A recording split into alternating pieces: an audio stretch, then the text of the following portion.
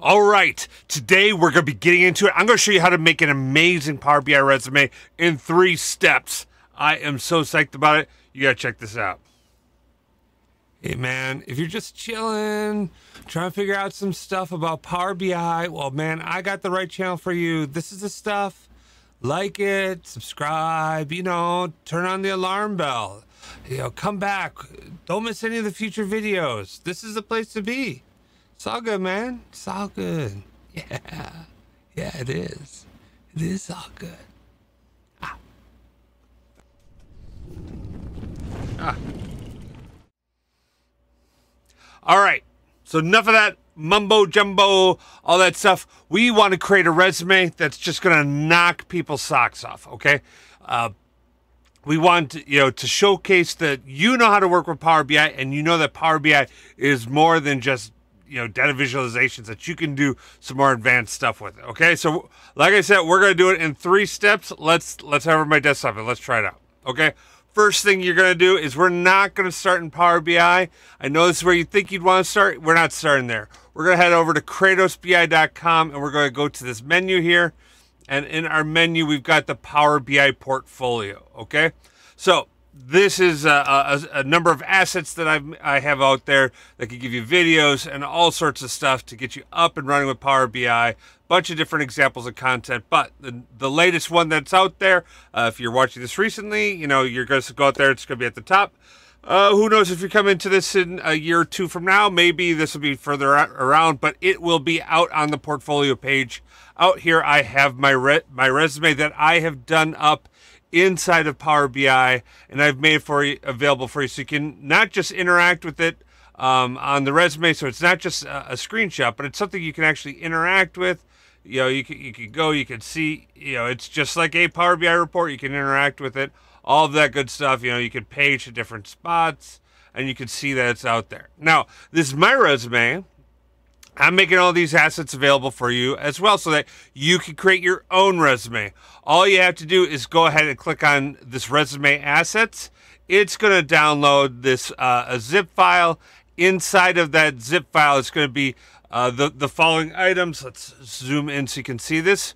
We're going to have the embedded image. We're going to come back to that in a second. We're going to have the page one background, page two background, uh, the PowerPoint uh, that was used to create the backgrounds, as well as the resume. Okay, so step one is head over to kratosbi.com and download the resume assets and start to review them. Okay, so I'm going to quick pull up the uh, the PowerPoint. So this is the PowerPoint that I've used to put a lot of the structure and form to data that you saw inside of um, uh, inside of the resume. This is formatted to be you know printable you know in legal size or I'm sorry in letterhead size so you can just go ahead and use this. You can publish this print this off really nicely. Um, uh, make sure you go in and edit this change your picture you know change whatever uh, items that you have you know adjust this as you would. But I've got two pages page one page two. Uh, make sure when you go in and after your edits you select your items. Control A right click, and then save as picture. And that's going to be your page one and page two backgrounds. Okay. Next. Next big thing we're going to do, and this is step two, it's, it's all about editing the resume to make it uh, uh, appropriate for you. Okay. So we, we've edited the PowerPoint. We're going to go over to the Power BI file. Inside of here, there's all sorts of information that you're going to go ahead and go in and edit yourself. Now, you would think some of the stuff would be text, but no, most of the stuff is available. It is just inside of, uh, it's inside of Power BI. This is data that's been, uh, in most cases, manually keyed in. You want to do something more than that? Hey, awesome, great. Manual, you know, go do something more than just manually keying this stuff. But head in, go over to your transform data and make the proper uh, proper adjustments to each one of these things, making sure that you you know you change the name and address, significant accomplishments, all that good stuff. You make your adjustments there. Big one here. Make sure you spend a little bit of time going through these uh, technical capabilities, making sure that you, you you've you've appropriately uh, identified each one of these and ranked yourself appropriately. Okay. Um, I don't want to see people with all my resumes out there. I mean, I probably will, but uh, hey, uh, this is my resume. Uh, recruiters, be aware. um, But once you've got this all done, I- I'm going to leave it to you to edit this and, and uh, make this appropriately. I want you to. Uh, step three is you need to publish this and you need to make this available for people to consume and use. Okay. So this is going to require that you have a Power BI Pro account. So you're going to need to be able to, or Pro account, and that you have some places to, uh, a test tenant that you're to ha- have available so that you can create stuff. Now, this may seem like a, a little bit like, hey, I don't have this. I do it at work. Well, you know what? Um, maybe you need to have something that you have available for your, your professional stuff. If you're a pro in Power BI, this this is an investment I'd highly recommend you you making. I know I've invested in multiple PPU licenses because I like to test stuff out myself, and I don't necessarily get those for free, but it's a you know that investment is a huge way to learn more about your craft and do more than that right? Like you think you do a lot in netflix? Well uh, no more netflix and chill. How about some you know power bi and i don't know i'm not good at alliteration but go go over to power bi spend your time with some data okay? Um, all right, and to do that, let me show you how, how, you, how you're going to do this. Okay, so so first things first, you need to head over to Power BI. You're going to log in. This you, you know it's going to look something along these lines. Um, but in your test tenant, you're going to need to make sure you head over to. Uh, oh, I guess I didn't save it. Okay, good deal. Uh, you're going to head into your uh, admin settings. So I'm going to go over here to my admin portal. Let me zoom in so you can see this admin portal. Click on that, and I'm going to search for uh, publish. Okay, what I'm looking for is publish to web. I need to make sure that it is enabled for the entire company, and so that I can publish to it. Okay, now let me scroll in so you can see this really well. Okay, so publish to web. What this does is this is going to allow you to publish your Power BI resume or any Power BI report so it's external facing so that other people can get access to it. Okay. Now, a lot of companies, this is the first thing that you turn off for you and for your test uh, tenant that you're using for your personal space. Um, don't turn this off. You're going to need this. This is going to be super important. Okay. Uh, so you want to make sure that that's turned on and you're ready to go. Okay. Next thing uh, I, I really recommend is create a workspace of content that you are sharing to the web.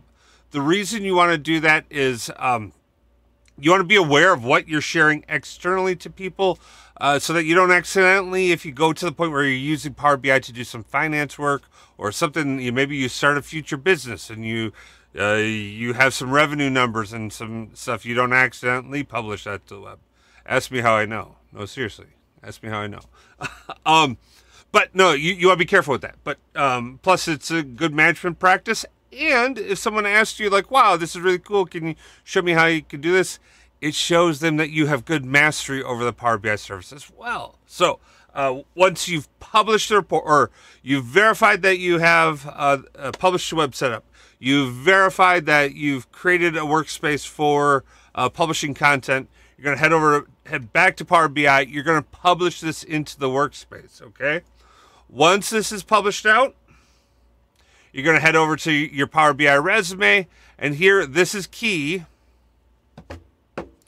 Uh, make sure that you go to uh, X. Oh, wait, no. File, embed report, and publish to web public. Okay. Now, let's see if I can gear in on this. Okay. So this is really the key. So you have to do the file, embed report, and then publish to web public. Okay. Now, a couple things on this. If you haven't played with this before, I highly recommend you do so. Okay. So you can publish content into SharePoint Online. So if let's say you work in a team and you want to publish stuff out there, you can publish it straight into that team. So you have an easy place for people to share and access uh, your Power BI content. Um, you can also publish to a website or portal. This is going to be for, for people who are publishing most likely internal information, but maybe external information. Just be careful that uh, what you're publishing doesn't have anything that's sensitive in it. And then the final one is that publish to web public. This is the one that we're talking about for this exercise is make sure that you're publishing it out uh, so that people can consume it. Okay. And you, will be able to, you know, uh, consume it uh, out on different websites. And we're going to be getting uh, to that last little, uh, that first image that I showed you or first image I talked about And then the last one is the developer playground. This allows you to see what it's like to embed your Power BI reports inside of an app. So if you did want to come back and ever build out a website or portal for customers to interact with, with reports or data, um, you can kind of play with it super easy. This is this is fantastic. Makes it much easier for you to test this stuff out. Okay, so when I click on Publish to Web, uh, it's gonna prompt me with with the screen here that I'm gonna uh, you know it's gonna give me what what code I can send an email, what HTML I can paste into a website, and I can choose what size I want that content to come across as. Now, oh, let me move this just a little bit so you can see this.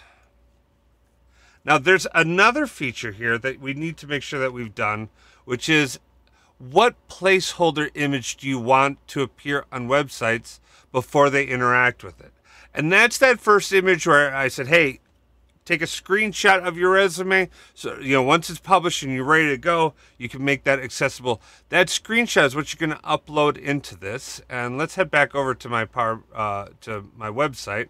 Now, in this case, I've already clicked on this, but let me hit refresh. Now, my Power BI report's not going to be interactive right now. You, you, know, you can see that it's it's not. I'm not hi highlighting anything. In fact, you could see. Hmm, you can't see now. Oh, come on now. You can see there. There's this interact view interactive content.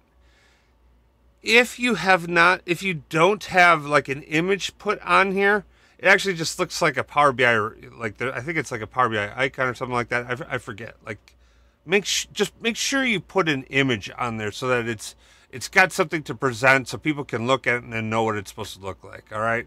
Now I've I've got some artifacting here because I honestly oh because my website's just something I, I, I do for fun, but um uh you know you saw it before but that image is super important because that image which is a screenshot of, of your resume is what you'd use right here okay so um where did it go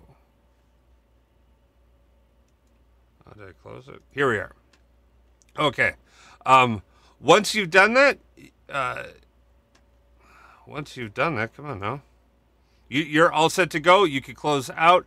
The, make sure you save these links. These are the links that you'll be using to either email to someone or embed inside your website. Okay?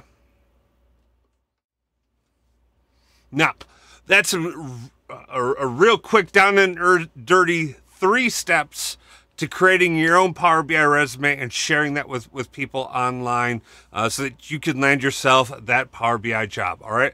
I've got a whole bunch of resources out there. Please let me know what you think. Want to hear from you. And hey, you know, the reason we're here is to try and help everyone be more successful. I want you to be successful. I want to be successful. But so let's help each other out. If you have any questions, comments, uh, things you want to see changed about the template, ideas for how to enhance it, make it easier, better, faster, stronger, all that good stuff, why don't you leave those comments down below? Want to hear from you guys? Uh, heck, give this thing a thumbs up, share it with your friends. Uh, if you haven't already, make sure you subscribe to the channel because if you're this far in, like I got a feeling we have a lot in common. All right. Um, if you want to support the channel over at KratosBI.com, I still do have um, the Buy Me Coffee.